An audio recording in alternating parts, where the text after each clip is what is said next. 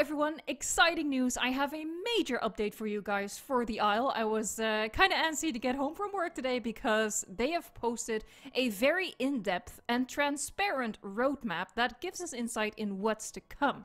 So it all started with a post on Steam. I'm not going to go through the entire thing, but you can check out this message on Steam yourself if you want to see that.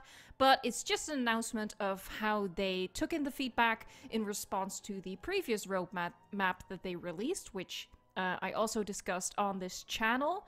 And they've implemented some changes. And what they've done this time for this roadmap is they are sharing it in Trello, which is an online. Um, sort of organizational platform that you use. Um, it's quite common for teams to use. So common, in fact, that my team at my job has also used this, and I know that some departments still do.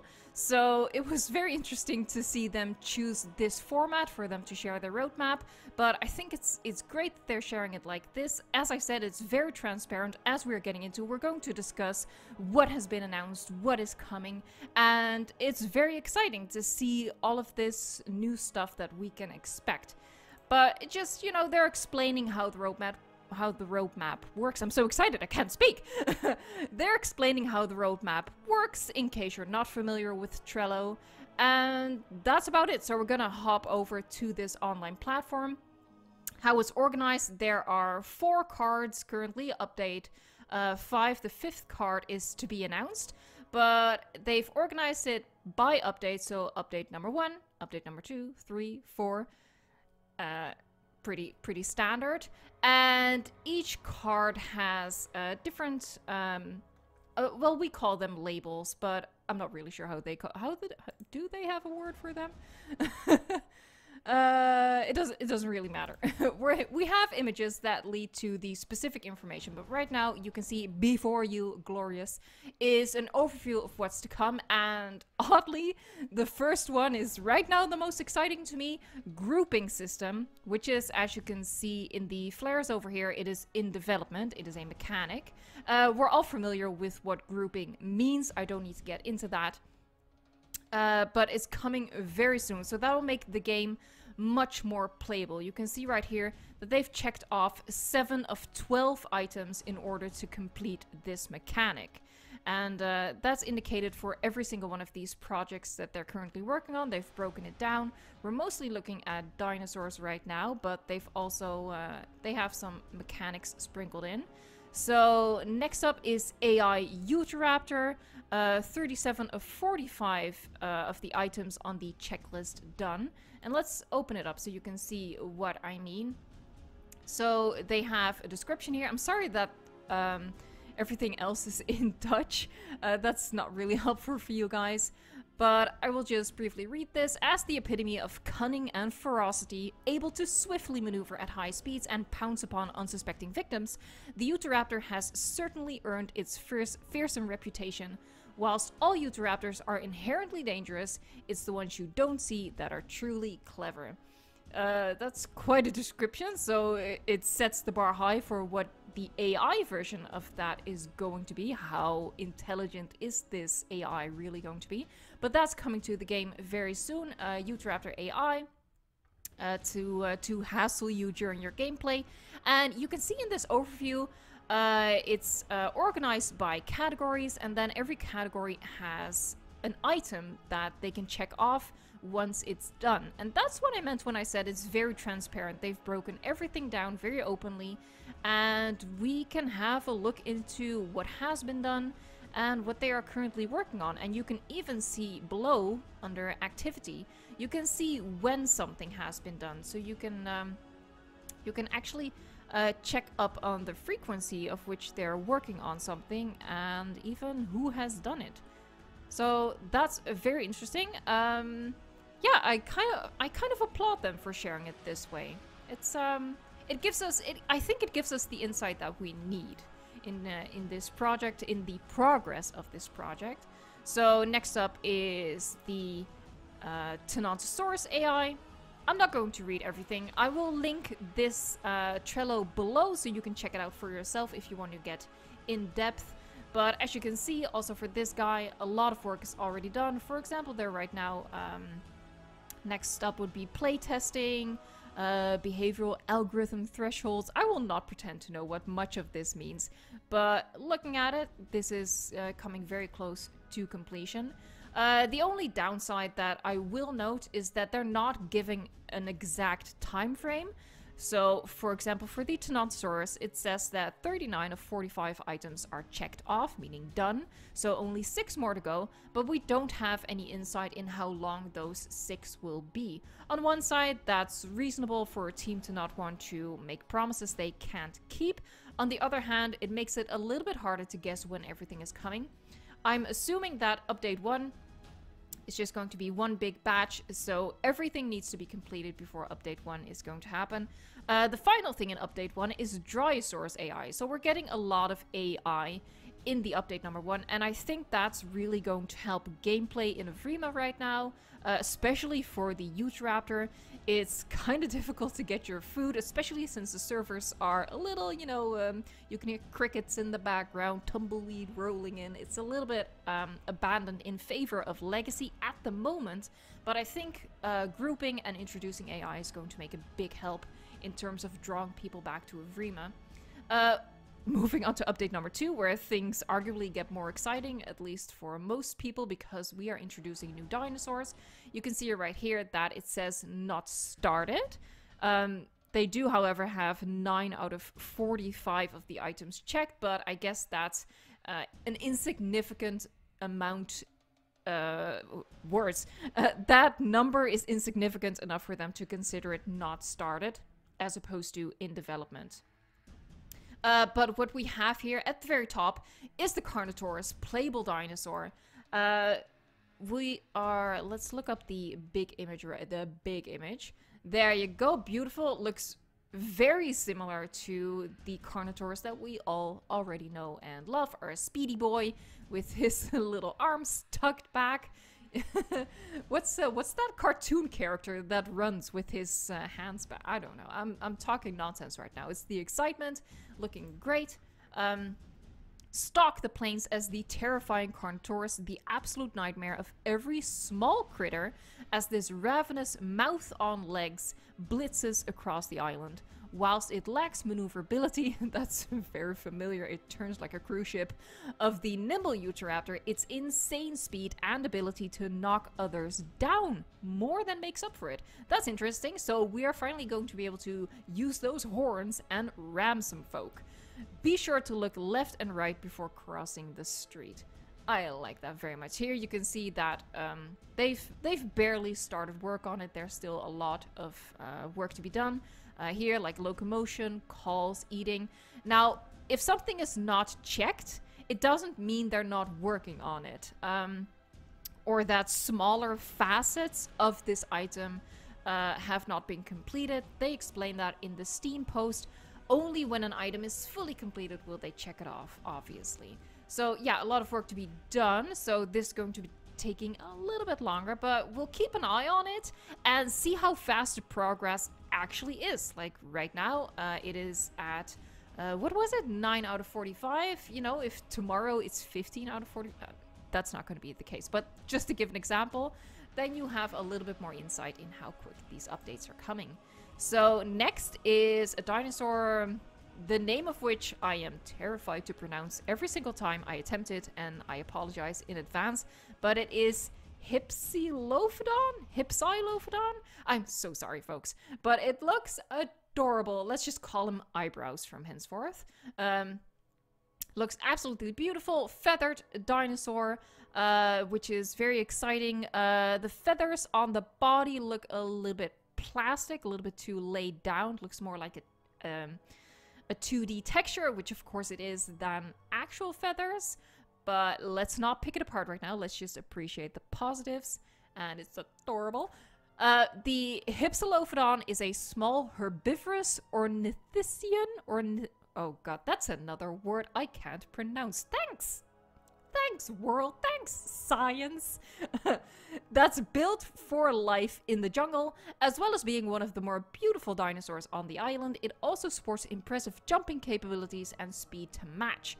When that's not enough to keep safe, the Hipsy, thank you, can shoot out a stream of its acidic stomach contents, temporarily blinding its predators, allowing for an easy escape. Cover your eyes. So this is like the Dilophosaurus of uh, of the Isle right now. We are temporarily blinding our our hunters. That's very nice that it's a small herbivore that can actually defend itself. Very cool.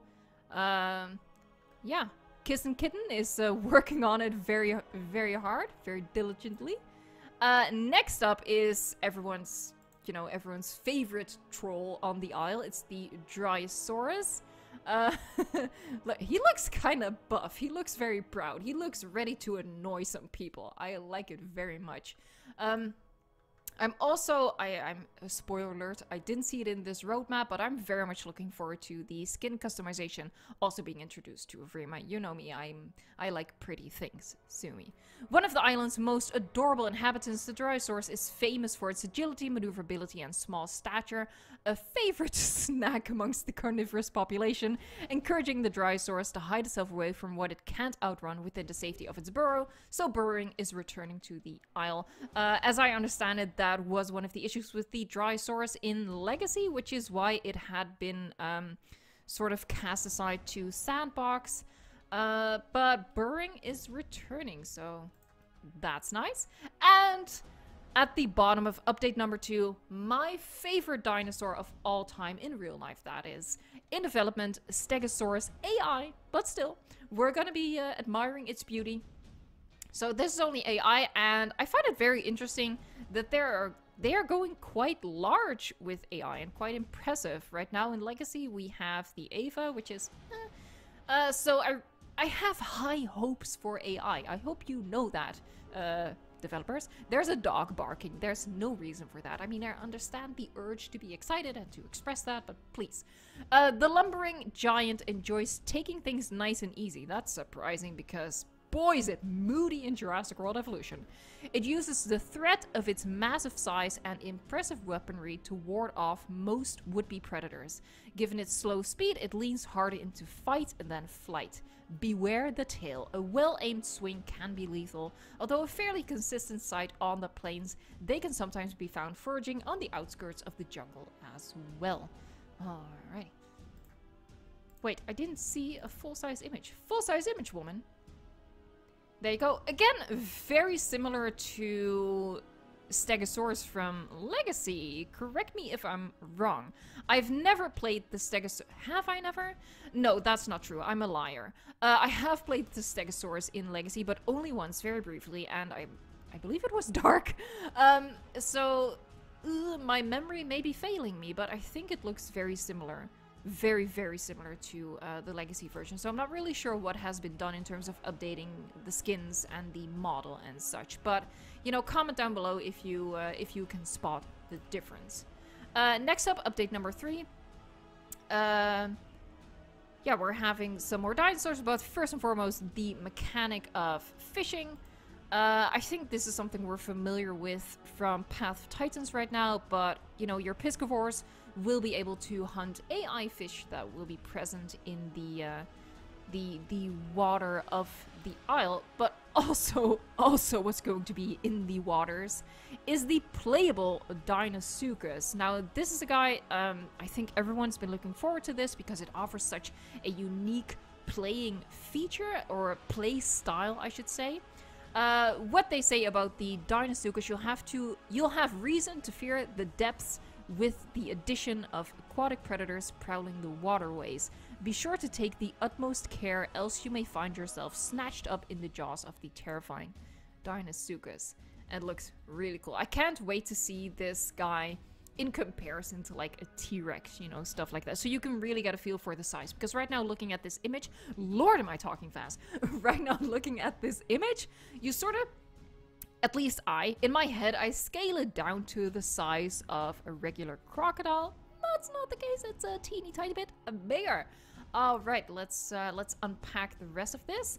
Uh, more playable dinosaurs. We have the Pteranodon, again another dinosaur that provides a very different playstyle. Soar through the skies as one of the most majestic animals to inhabit the island, whilst its fragile form is terrible oh.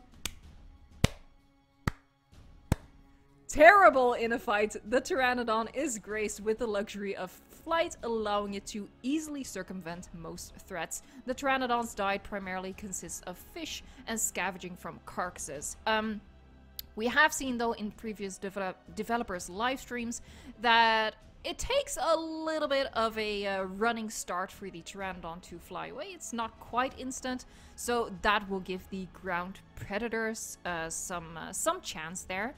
Um, yeah, so that'll be interesting. I'm already picturing, uh, you know, people baiting the Pteranodon to come down to a carcass and then coming out of the uh, of the woodworks to uh, snatch them up. Some chicken wings. oh, those those soulless eyes are kind of frightening me. But again, looking looking pretty cool. And this is going to be exciting to play as.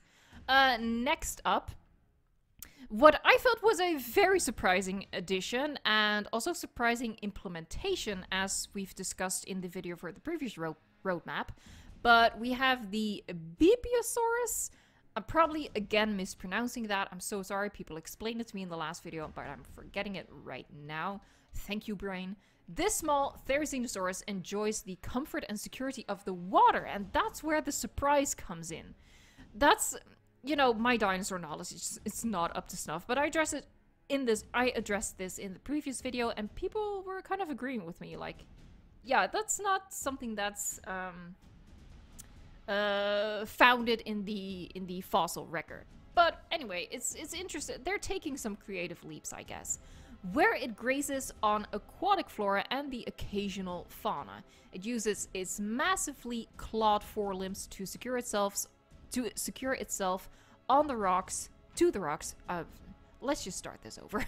it uses its massively clawed forelimbs to secure itself to the rocks and riverbeds during strong currents as it grazes and searches for small prey. So they kind of came up with a story for why this Therizinosaur has such big claws. I admire it, but it's still odd to me. It's an odd choice. Though swift and sure in the water, on land they are much less adept. But their impressive claws make them more than capable of putting on a fight for their small stature when they cannot find safety in the water. We all know the theory in uh, in Legacy is uh, is pretty fearsome. Oh, look at those teeth! I also like the um, the color on the throat. Looks very nice. Uh, again, the feathers uh, a little 2D, but those claws, man, those are really, really awesome. Moving on, last one for update number three, the Suchomimus. Uh, Suchomimus is also in Legacy right now. Uh, he looks very familiar. I think um, I think what it's called is a dewlap. It's the flap of skin under the underjaw uh, by the throat. Uh, it looks even more pronounced in this one, but other than that, it looks very similar to what we have, even in terms of the coloration. Uh, the Suchomimus finds itself in a unique spot in the ecosystem, able to traverse the land and thrive in the shallows, large and powerful enough to deter most other predators, whilst lacking the speed and stamina necessary to hunt most land-based creatures. This is very similar to what we have in Legacy, uh, in terms of how it fits into the ecosystem. Instead of relying primarily on a diet of fish, the perfect animal to deploy alongside the long-awaited fishing mechanic. Oh, uh, sorry. Instead, relying primarily to. Instead, relying primarily on a diet of fish, the perfect animal to deploy alongside the long awaited fishing mechanic. So, yeah, their choices do make sense for why they've combined these playable creatures with the fishing mechanic. I'm although I didn't read it. Oh no, the Pteranodon's diet primarily consists of fish and scavenging from carcasses. So yeah, we have the um, the four dinosaurs that you know will be um, you know will be will be interested in the waterfront uh, accompanying the fishing mechanic. I'm quickly moving on to the fourth update but please do comment your own reactions to this down below so we can continue the discussion in the comment section. But i really want to go through this entire Trello roadmap with you. So update number four, uh, it's the nesting mechanic. Again, this is uh, familiar from Legacy. Male and female dinosaurs will be able to establish nests and incubate eggs. That's different from the Isle. Currently, currently, oddly, it only takes a female to uh, create the nest, uh, incubate the eggs, and poof, there's life. That's not really how it how it works. It's not how it works. Um, so we are going to need our trusty mates to uh, fulfill this uh, this lifelong dream of creating a family uh, and watch them die. Um, Male and female dinosaurs will be able to establish nests and incubate eggs, which you can invite your friends to spawn onto as hatchlings, a perfect mechanic to deploy alongside the egg-snatching Oviraptor. We don't need to look at this image, this uh, is already familiar, but the Oviraptor, that's where it's at. Look at it. I love the color scheme of this guy. It's so vibrant. he is also very expressive in this picture. He's like, whoa. oh god, no, I'm not gonna go off on a tangent. I want to keep this as short as possible. Uh, he looks great, and I'm very excited to place this guy. It's going to be so funny trying to steal eggs from nests. It's going to be very annoying, but it's going to uh, give parents a reason to be afraid. Very afraid. One of the island's most colorful and infamous inhabitants, the Oviraptor earned itself the title of Egg Thief for good reason. Preferences aside, the Oviraptor is an omnivore, allowing it to choose from a diverse selection of food sources, granting it a distinct survival advantage. That is very interesting. If it's if it's truly an omnivore, we you could also just choose to eat from the bushes. I'm guessing. Uh, I don't think there will be any limitation implemented in terms of that. So you know, you can pick and choose. And finally, very interestingly, um, Tyrannosaurus AI, so not a playable Tyrannosaurus Rex. Unfortunately, I will say, I am looking forward to seeing the truly bigger carnivores in the game. But first and foremost, we're going to get the AI version. Uh, looking at the model, again, it looks it looks very similar to uh, the standard skin, which is kind of weird because I've played with this skin? That sounds so odd. Oh no, don't don't repeat that sentence. But yeah, not really sure what. I think the face is a little bit different, um, but that's just me spew spewing nonsense off the cuff. A true force of nature, one of the island's largest and most intimidating inhabitants, the undisputed king. Yeah, because it needs a nerf. Come on, it's way too powerful. Anyway, um, rants aside, the Tyrannosaurus Rex steer clear of this formidable opponent should you seek to survive. Now, I do really wonder how good is this AI going to be? Is it not just going to be wasted, uh, wasted effort giving um, artificial intelligence to such a big dinosaur? Is it really going to be able to um, stalk the island? as it is implied. Um, they, they boasted during one of the live streams, you know, how well a T-Rex can hide in the dense, dense, way too dense forest of the Evrima map. And then it can, um, you know, lurch out when an unsuspecting dinosaur walks past. But is the AI going to be smart enough for that? Because right now, the only carnivorous AI in the Isle is the Velociraptor. And you know, for artificial intelligence, he's not particularly smart. He just walks up to you and, you know, either he bites you or he doesn't, and he just stands between your legs, you know, awkwardly standing there. It's just weird. So, I'm very curious to see what they're going to do with the AI for this game. So, to sum up, the mechanics coming, grouping system, praise be, uh, thank you, Lord. Um, the fishing mechanic and the nesting mechanic. Uh, also, what we have coming is Utahraptor AI, Tenontosaurus AI, Dryosaurus AI, uh, and then later on we have Tyrannosaurus AI coming in terms of playable dinosaurs. Uh, first up, the Carnotaurus, uh, Hypsilophodon, and Dryosaurus. Oh, I forgot about the Stegosaurus AI. This video is a mess. uh, then we have probably the most anticipated it's not really a dinosaur, I know.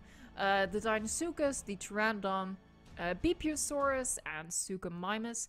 Um, interestingly, that they've moved the Deinosuchus to update number three. When you can you can see it's at 18 of 45 items checked off the list, so it's more advanced in terms of progress than say the Carnotaurus. But it makes sense. They wanted to pair it with the fishing mechanic and uh, the fishing mechanic is at zero of eight of the checklist items done, so that's why they're pushing it back. Although, you know, Deinosuchus, I'm not expecting it to live much off fish, maybe just as a baby, though. Um, yeah, and then finally, as the playable dinosaur that we can see in this overview is the Oviraptor. So that's going to wrap up this very long video. Please, please comment your reactions to this down below so we can keep this discussion going. I'm very excited about this, as you can tell from this rambling video. Uh, but, you know, I hope that you find these sorts of videos fun to do. I just... I just, when I see stuff like this, I know you can look it up for yourself, but I just want to talk about it and talk about it with you, so that's what this is all about.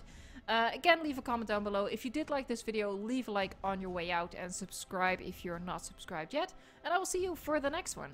Thank you so much for watching, and until next